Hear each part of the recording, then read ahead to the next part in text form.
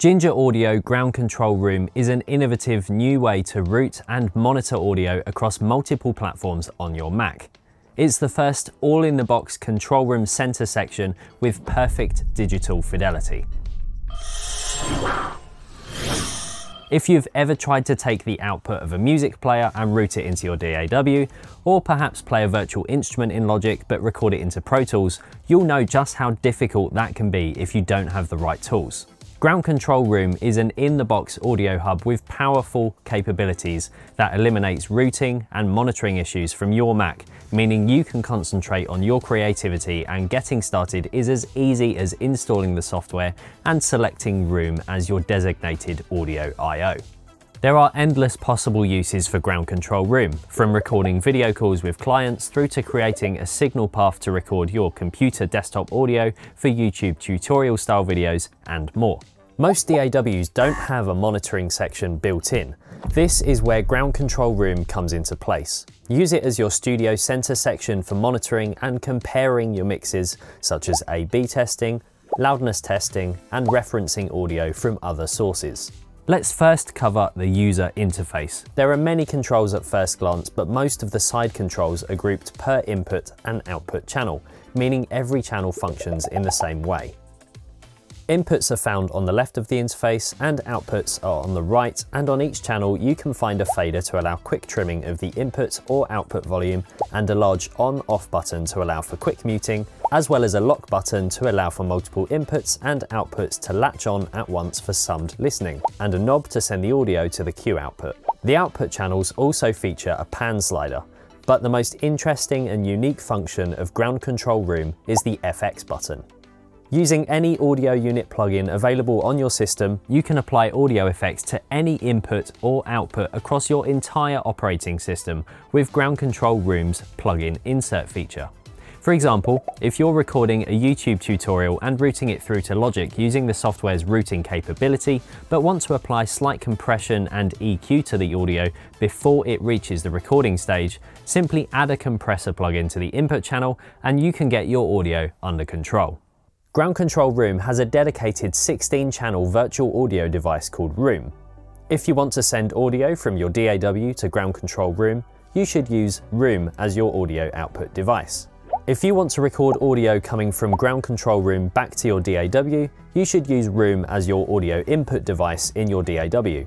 There are dedicated loopback channels in the Room driver to do this, to prevent creating a feedback loop in your DAW in case you use Room as both DAW inputs and output devices. One benefit of having the ability to put any plugin anywhere in your audio chain is that you can treat all audio sources through room correction software. If you use SonarWorks, Arc 3 or any other room correction software that you'd usually apply to a master bus within a digital audio workstation, then applying it to ground control room will enable you to calibrate your entire operating system's audio to your room. Having a great sound in DAW but Spotify being left behind is a thing of the past. Likewise, being able to use room emulation software across your entire OS gives a huge range of possibilities. Ground Control Room features a center section with a large volume knob, phase inversion options, solo, mute, dim, left and right flip, talkback and more, all giving you every bit of flexibility you need in the studio to get the job done. The reference volume buttons can be adjusted by right-clicking, then using the pop-up controls to assign a value to each button. This allows for quick recall and easy control over the volume level you hear in your studio.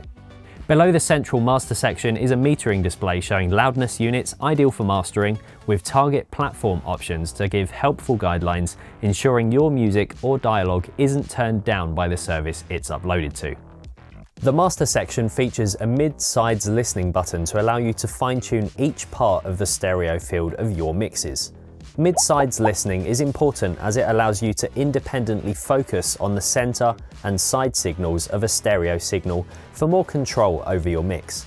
The mid signal contains the information that shows up in both speakers, whilst the sides signal contains the information that is unique to the left and right speakers independently.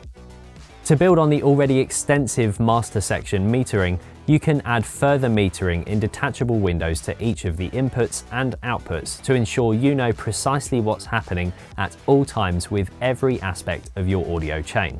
Select the drop down arrow at the top of each channel's input and output channel strip and click on Show Meter View window to open up a selection of metering parameters. These windows can be arranged to your preference, meaning you can have your ideal metering setup in no time at all. Loudness metering using LUFS values can be monitored in a variety of styles with choices ranging from short-term and integrated through to momentary and full range metering and peak monitoring between true peak and momentary peak values. Not only this, but you can open up more than one window at once, meaning having a clear view of your entire audio workflow is super easy to achieve. Having this flexibility within Ground Control Room's monitoring system means you can be in control of everything within your audio workflow at all times. As well as extensive software control, Ground Control Room's services can also be controlled by programmable hardware such as the Stream Deck Plus or Loupedeck CT. Assign your favorite commands to buttons, knobs, and screens to create the ultimate sound control panel, meaning you can have hardware control with a physical knob to turn buttons to push, and more, whilst all the processing remains firmly inside the box. Finally, the inter-software routing is not only constrained to within your own computer. Using Dante networks, you can transmit audio between devices using Ground Control Room's powerful routing technology, meaning you can expand your workflow across devices, rooms, or even locations using networked audio. Whether the audio is from an app, browser, microphone, or an audio interface, you can route audio tracks to multiple destinations using unique mixes for each output. To find out more about Ground Control Room and how it can help you work efficiently to make your audio pipeline work for you, visit gingeraudio.com to view specific videos on all its features and download it today.